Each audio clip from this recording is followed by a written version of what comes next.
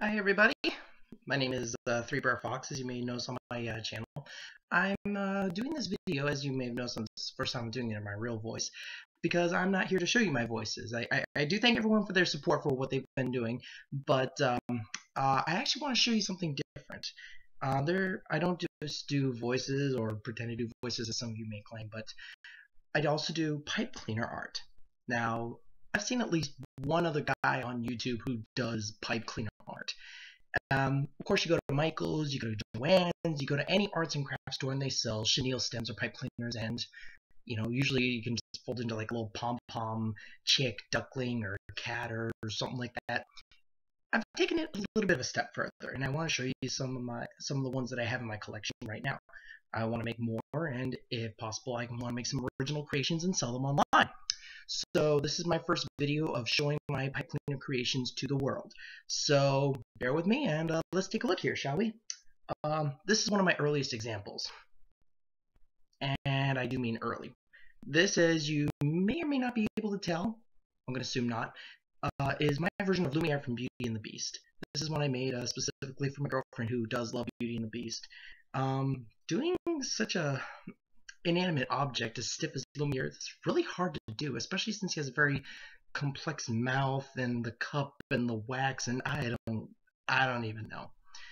Um, these are just bare wires up here. I didn't even have gray at the time to make his shaded eyelids, so yeah, it's not very good, is it? Well, you know what? It gets better from here. Well, how about this? I am a Disneyphile, so yeah, Oswald the Lucky Rabbit. Very primitive. He doesn't have uh, a mouth. He just has big floppy ears. What's there to say about Oswald other than he's awesome? I mean, Epic Mickey, right? And now he's in Tokyo doing meet and greets. So yeah, Oswald, he's he's been one of my favorites, and uh, hopefully sticks around for a while. This is one I made recently for a friend. I, I haven't been able to ship it out to her, and if you're watching this, I do apologize, but I will get, try to get this out as soon as I can. Yeah, Winnie the Pooh. And again, like Oswald, he doesn't have a mouth, but he's pretty easy to tell who it's supposed to be. Now you're wondering why he's probably so big. I actually made him hollow, and uh, that's what's been able to save me so much pipe cleaners and makes him so much lighter. So, yeah, Winnie the Pooh. I'm not sure I'm a big fan of those big bushy eyebrows, though. Okay, let's do something original now. And don't you judge me. Yeah, I made a unicorn. What are you going to say about it? Of course, this uh, unicorn's pretty skinny, but ultimately the reason I made this was because I just wanted to expand and uh, see what else I could do. Yeah, I could have made a horse, but uh, wanted to do something a little more unique than that, and I didn't want to do a Pegasus. I, the, the wings just would have been a pain in the butt. So I figured, why not just do a simple unicorn? Got the horn, light blue mane, got the lion's tail, nice little gray hooves. Um, I do need to touch this one up a little bit. Obviously, I need to make her a little bit thicker. So we'll see where this one goes. And uh, if you like it, great. If not, oh well. It's the internet. Um, here's another one of my of my favorites. This is just plain simple teddy bear. Now, there's a couple things you may notice. Number one, the heart's on the wrong side of the body. Yeah, that was... I admit I made a call on that one.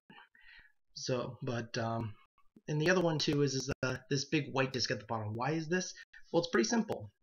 So this teddy bear can stand up, and it looks a lot cuter that way, don't you think? As far as the heart thing goes, I don't know. I kept thinking of something like making up a backstory of like a little girl who once owned a teddy bear, even though she put the heart on the wrong side of her body, her heart was in the right place or something. I don't know. I'm just making the stuff up on the fly. Don't judge me. But then again, it's the internet, so you're free to judge. So who am I to say? Anyway, this was one piece I'm a little proud of. I do like how inherently adorable it came out. Is it perfect? No, none of these are. And yeah. Now this one's a little more unique. Um, when I was in high school, a friend got me hooked on the TV show Kim Possible. And I still watch it today. Great show. Absolutely love it. Um, a few years ago, though, for two Halloweens in a row, I dressed up as Ron Stoppable. Booyah! That didn't prove anything. I don't have blonde hair and I don't have freckles, but still, Ron Stoppable. I mean, if nothing else, well, anyway, I dressed up as Ron Stoppable for Halloween, so I had to have a Rufus, right? Well, this was the result.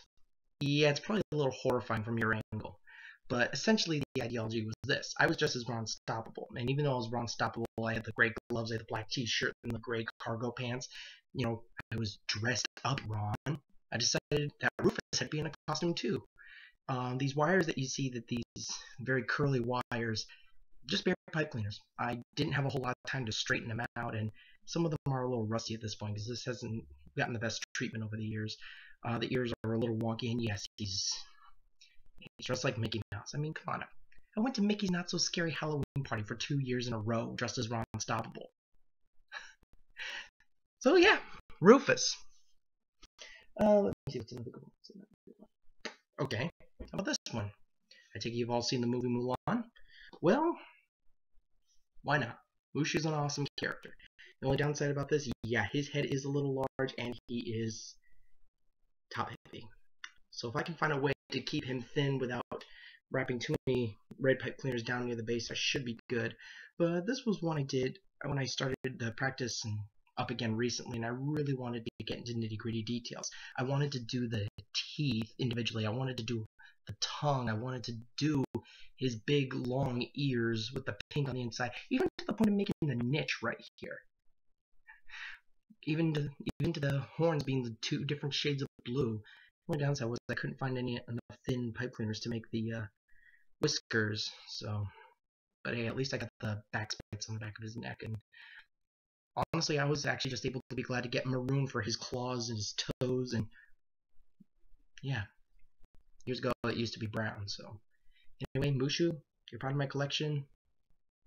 There you go. Uh, now, one other thing you should probably know about me is uh, I'm a huge fan of Disney's Song of the South. That's number one, my favorite Disney movie of all time. Jungle Book's close second. But anyway, that being said, uh, I had a Brer Rabbit in my collection for the longest time, and uh, right about the same time, a friend of mine asked me for the uh, Winnie the Pooh. Um, they had asked if I can do Brer Rabbit. I took that to mean, can I make one for her? I made it. I asked where I can ship it. She said, oh, no, I just wanted to see what it looked like. Here are the results. This one here, right here, this is the oldest one. This is the one I made a long time ago. And again, like uh, Oswald, like Pooh, he doesn't have a mouth, but you know, whatever. Uh, I also made his little satchel here detachable, and it runs right through his collar. It was the only thing I was able to make it stand up. He's got fully functional fingers like most of these do. He's got the big face. I wasn't able to make his pants as big as I could have wanted to, and I wish I could have made a mouth or something. He's very big and very expressionless eyes. Not a huge fan, but you know what? It's Brer Rabbit. Being little without much strength, supposed to use his head instead of his foots. Compare that to this one I made more recently. It's roughly about the same. The only main difference is that this one has a mouth, which sadly I'm not a huge fan of. I think I made the lip too big and it looks like something I probably shouldn't ever discuss. But the other main difference is that I didn't even bother with fingers on this other hand. I just wrapped several brown pipe cleaners, threaded them through on through here, so now it's stuck on, doesn't come off. This one, on the other hand, shake around too much, bam, there it goes. So, Rabbit, Rabbit, whichever one people seem to like better, great. If not, oh well. Um, like I said, I also have plenty of original ones, and I know I'm just showing off the Disney ones for the most part. Um, this is one my girlfriend has pretty much claimed ever since I first made it, so let's see what you guys think. Yep, good old cuddly panda bear. And just like Winnie the Pooh, he is hollow you can probably tell just looking at it, kind of looks like a hollow ship. That's what it takes. It just weave them back and forth, back and forth, back and forth, and just goes all the way around. It's not all solid structurally, and frankly, it's just, yeah, it's not very sturdy as far as the legs go. But so cute? No. Oh, but, I kind of like the way he turned out. If people want him and want to hold him and keep him and hug him, you know, without crushing him. Great. Okay, um, here's an, here's uh here's another one I'm pretty proud of. This is a project I'm currently working on, and frankly, I actually this is the first time I've ever need to use anything outside of pipe cleaners. You know, I don't even touch pom poms for these things. You know, But um, this one I need cloth because um, when it comes to making these pipe cleaner things, the hardest thing you can make is thin, large thin things. What are large thin things? Like a cape. And in this case, I am the terror that flaps in the night. I am the barrow video no one understands. I am Darkwing Duck. So as you can see, he looks alright-ish. Yeah, the eyes are a little upset, but I try to make him do the for one eye, one eye open. Let's get dangerous. At least I was glad to find some pipe cleaners for the right color for his beak and his legs. And yeah, as you can see, one of the biggest challenges is to make uh, a cape and his big wide-brimmed hat. You know, uh, let, me, let, me show you what I'm talking about, why it's such a challenge. This right here is just a circular disc of just gray pipe cleaners interwoven together. Don't too bad, right? I mean, it's nice and thin. I mean, it's passable, right? Well, here's what happened when I placed it on him. Yeah, that looks extraordinarily stupid, doesn't it? I mean, it looks like he's more like wearing a sombrero than a nice thin hat, doesn't it? So unfortunately, what I'm going to have to do is I'm going to have to get some gray cloth, cut it into a big circle, hole in the middle donut, and then make it that way. Same thing with the cape. It's also different colors. It's dark purple on the outside and pink on the inside. What shape, shape should what shape should the cape be? You know, rectangle? Should I have it blowing off to the side? I don't know. This is all stuff that I have to figure out at a later date. But this is a current project. I'm enjoying it because who doesn't love Darkwing Duck? You know, if you were born prior to 2000, I'm just saying. So anyway, Darkwing Duck. Now these last three are among the collection that I love the most. These are the ones I'm most proud of, and if people want these, great. I just don't have much to do with them at the moment. First up, is my dragon here. Again, I have a fair amount of original pieces, and this dragon is one of them.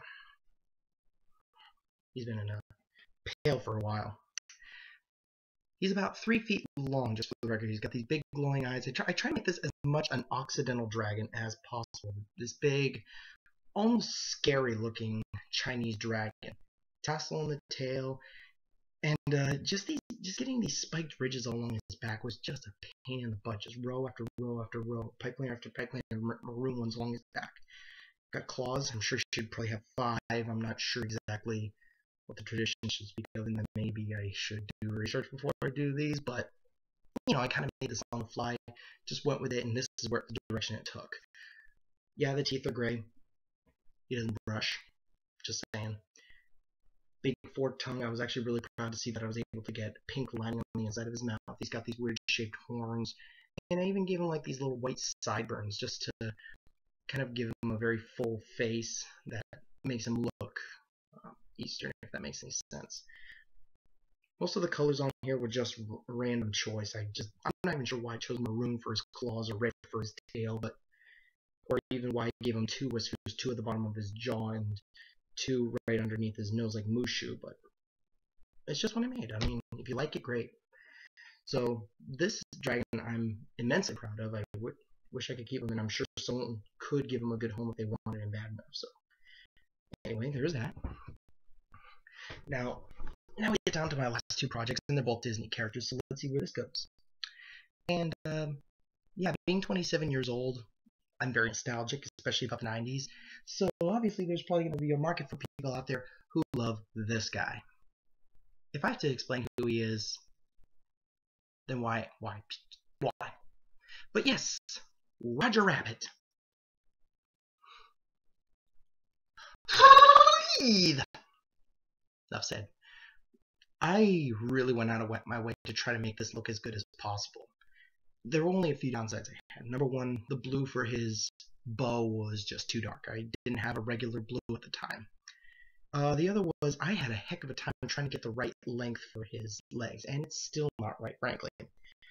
But um, you know, it's better than it was. I mean, his legs were like all the way down to here. I thought. Um, managed to get patch right underneath his cottontail to make sure I got that detail right. The shape of his suspenders and which way they crossed. Had to make sure I got the bulk of his uh, gloves, the big bulk of his ears. Um, make sure his eyes were right, even down to the little tooth right here. Um, the only detail I really didn't bother was with, with whiskers. You saw what happened to Rufus. I wasn't gonna make whiskers like that. I thought that just looked stupid. So the other, there, the only other pro problem with Roger was that I started getting into the phase where these were less like posable action figures, if you will, and more as something to display, something to set up. So one detail I did skip out on Roger was the bottom of his feet. Yeah, they're just kind of lined pink right here. I didn't. I wanted to make them all pink, and then the three little dots right on here for his toes, and I ran out of pink, plain and simple. And this was the most economic way I could do it. So yeah. Anyway, um, the only there's only one major problem with Roger. He is, his head is very heavy and his neck is rather small. And unfortunately, it's just not that stable. I wish I could find a way to make this work uh, without dismantling him and or thickening his neck. So, whatever. All right, so now I'm down to the one last clean. This is the one I'm most proud of, and um, this got my interest sparked again. Um, I've been doing pipe cleaners since I was like eight or so. My sister first taught me, and it just kind of grew into what you see now. And then I did this one, and I just took my time. I was patient with it, and I really put forth a lot of effort. And it only took about five hours. Yeah, the rest of these took like two, three maybe, and this one took about five. So this is my largest project I've ever done, ever. And this is the one everyone seems to love. This was the picture I put up on my Facebook, and what triggered my friends to say, "Ooh, Brer Rabbit, ooh, Winnie the Pooh," and then just got my interest going again. I loved it. So, without further ado, my final project, Disney character as well. Ladies and gentlemen, I give you the mistress of all evil herself, Maleficent the Dragon. As if she needed an introduction. Now, what what can I say? Now, if the lighting looks off, it looks off on my end, and but I'll try to explain to you without being as condescending or patronizing as possible. Obviously, you can tell about how big how big she is. So she's she's a little shorter than my green dragon, but and of course she's got the long tail. She's got the long neck. She's got the spikes all along her back. She's got the her tail almost like a sigh. and um, I really made sure I got details of the weird way her toes ended, and then gave off these big spread claws. And again, like the panda, she has this very hull um, weaving to her, like that went for the stomach, and that went for each different angle of her body to make sure I had it right. You can kind of see a seam right along the back here. Um, as you may recall, what is still one of the hardest things to do is anything big and wide, and another big thing that's a challenge besides wide-brimmed hats and capes is wings. So for here, I just said, you know what, I could do like black on one side, gray on the other, but what if I just made them clear, just straight up black pipe cleaners? And it seems to work. I mean, people don't love it or hate it any less. Um, and of course, what's this big stupid thing coming out of her mouth? This is I don't know if you can tell the color here. The color is kind of off. It's green. It's bright green. It's supposed to be a green fireball. Yeah, I don't think it uh, helps anything, but why not? Just why not? I've even got everything down to having a little yellow tongue in there, yellow lip, the black teeth, the yellow nostrils, the yellow eyes.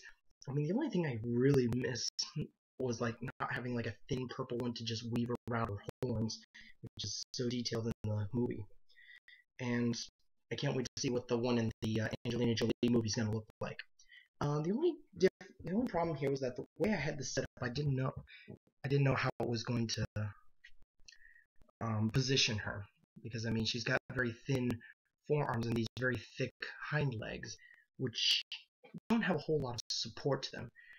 I can very easily set her down, and she does not hold herself up very well. Unless I go to like Michael's and get a big plaque of wood or something and put like a styrofoam block or something show her propping up against it and just glue it down. That's the only thing that could really work.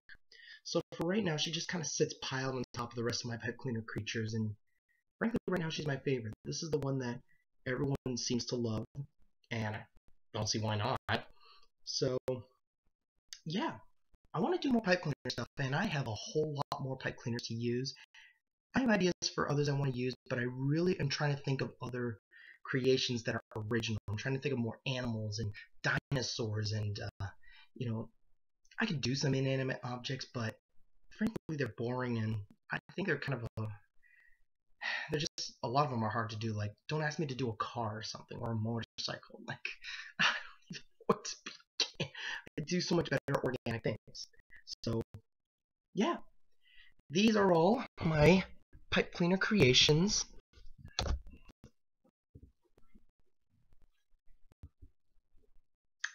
I love them. And um, if you'd like to enjoy some of these, let me know.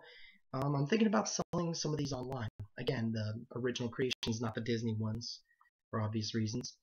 So, questions, comments, concerns, requests, I take them, and um, I will see what I can do. Um, best case scenario, I'll probably end up going on Etsy and try selling them there. That's the best I can predict because I haven't even gotten started. I don't have enough to original creations to begin to sell. So, anyway, world, this is your first look at my pipe cleaner creations. If you like them, let me know. Other than that, if you want to see me do more voiceover videos, if you want to see me do more drawings or whatever, let me know. I'm happy to share with anything that you find interesting. So, see you later, Internet.